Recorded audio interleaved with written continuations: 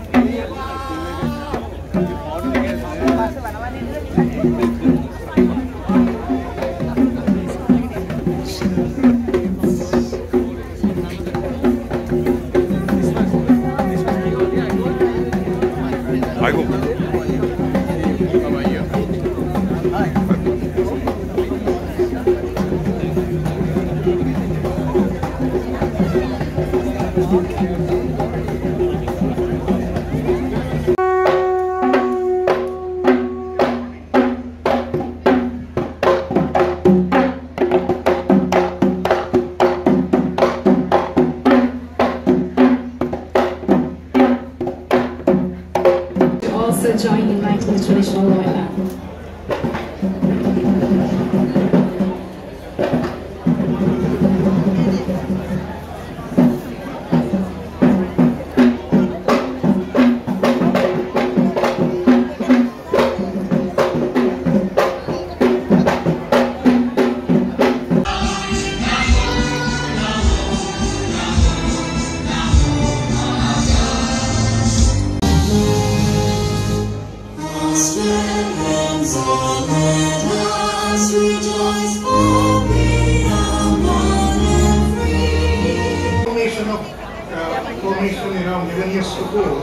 The federation took its collective strength and sense of unity has delivered greater value to the community.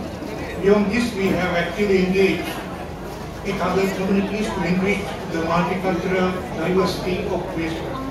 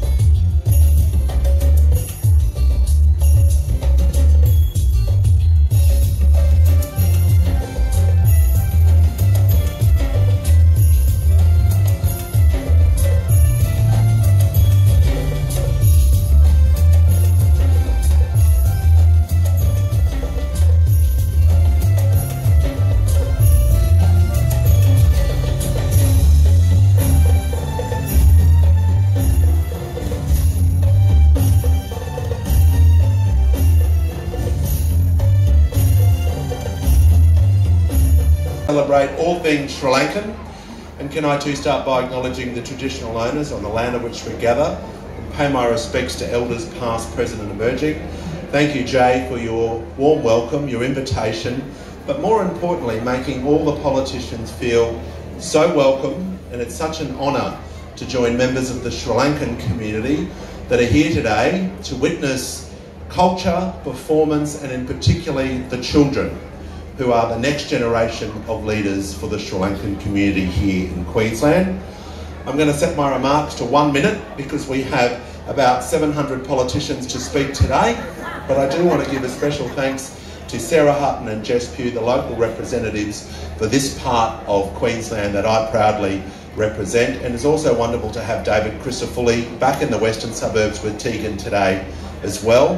To Paul Scarr, my federal parliamentary colleague, who I call really the senator for Oxley only. It's quality we need here, and it's always wonderful to be at an event with Paul Scarr. Friends, to the organisation committee, thank you for what you've done. I have one very quick message to thank the Sri Lankan community here in the southwest suburbs of Brisbane and Queensland for your determination, for your drive, but also your economic productivity. So many local businesses here in Queensland have Sri Lankan origins, and we are so proud to have so many friends here today from the business community and all of our sponsors. Friends, have a wonderful day. Let's celebrate over 2,000 years of traditions, culture, and performances right here in Sri Lanka Day. Have a great day, everyone. daughter and my father here earlier today, um, and my dad was uh, taken back to his last visit to Sri Lanka, um, which he hasn't been able to do for over 10 years now. But he tells me that it's just the best country um, to go and visit for the food, the culture, and of course um, for the fabulous people as well. Can I, of course, begin my remarks by acknowledging the traditional owners of the land that we are meeting on today and acknowledge their young people um, their leaders and um, the leaders that have gone before them and extend that respect out to all of the leaders and the elders who are here with us today. This is the fourth Sri Lanka Day Festival and as the local member I am so very proud of this event and how it has grown over the last four years and I just want to um, keep my remarks to um, confined to comment on a couple of fantastic to be here today because, as Jess said, this is really a true celebration of culture, and I'm really passionate about the continuation of culture. And as Milton said, it really is about the children, and it's about these opportunities to bring people together so that we can continue to value the cultures that have made my community in Inala and, of course, Australia such a wonderful place to live. I'm very blessed that I have a large Sri Lankan community in, in Forest Lake and around within my electorate.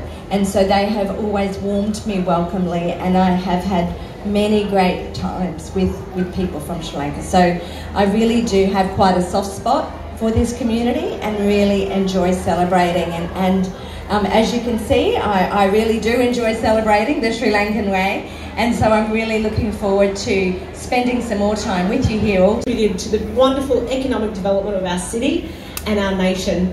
So thank you so much for what you have contributed to our country and may continue to grow from strength to strength.